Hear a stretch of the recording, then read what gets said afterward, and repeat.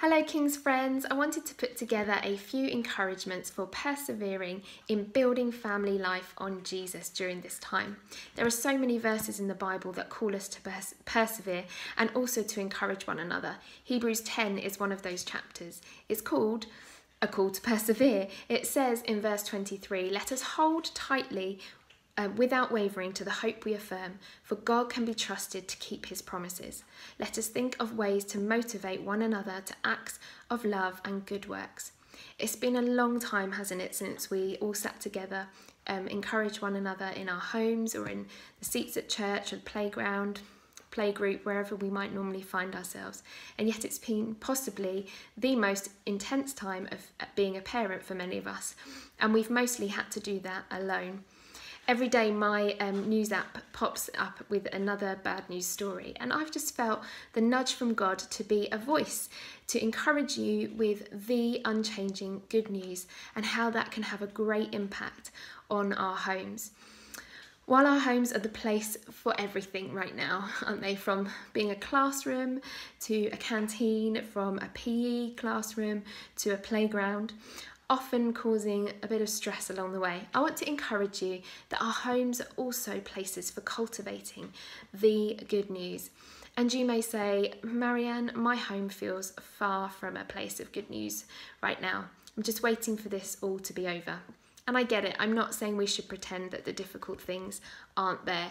In fact, um, last week while we were juggling the usual homeschool and work, church and lectures, um, unfortunately, two people were stabbed outside our house. And then a couple of days later, a family member of mine passed away from COVID. So I'm not saying that everything is good news. Were those things good news? No, but within those situations, the good news still stands. In fact, it's those hard places that can be the places where we find Jesus at work. During the time, during this time, the good news is as relevant as ever in our homes and it can make a difference every day. It's Christ in us. Does it mean I have to be enough? No, quite the opposite. Jesus is enough. So, what does it look like to live out the good news in our messy, exhausted family lives? Well, I believe it looks like us as parents choosing to keep the main thing the main thing. You and me as parents leaning into the grace of Jesus. It looks like prayer. If we're able coming together as a family and placing things in the loving hands of the Father. It looks like seeking truth together. While there are so many situations and cultural conversations that are confusing and contradictory or look hopeless and bleak, you can seek truth in God. So I want to start with the first one today keeping the main thing the main thing. As Christians, as Christ followers, we have decided that Jesus is worth following, that we've decided he's worth everything. He's our treasure, he's our hope, he's our life. And that's not just true on a Sunday or during a life group or a family devotional, it's an everyday thing. It's woven in and out of everything that we do and we choose and we are.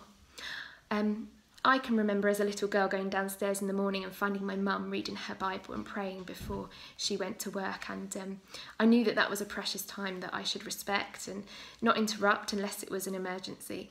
And um, you might think that that would have left me feeling unloved, but actually I've reflected on it and thought I felt quite the opposite.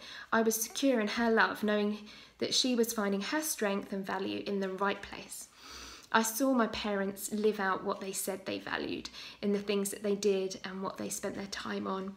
And I believe that can be true for us today, that our kids will actually learn to value the things that we value. Not exclusively, of course, I'm not saying it's like a, direct cause and effect.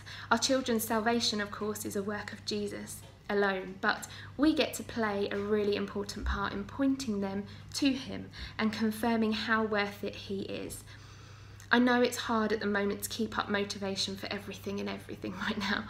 Um, there's so many things to juggle, but what I want to share and encourage you with today is not meant to be an added extra. I just feel like it's the central thing that we need to build our lives on, and it can be very easy to put secondary things in first place. I know when I've done that, um, I end up feeling disappointed and disillusioned. But the good news of Jesus is that He is enough And keeping Him the head of our homes in the right place is the way for us to journey through these highs and lows and to have hope within it.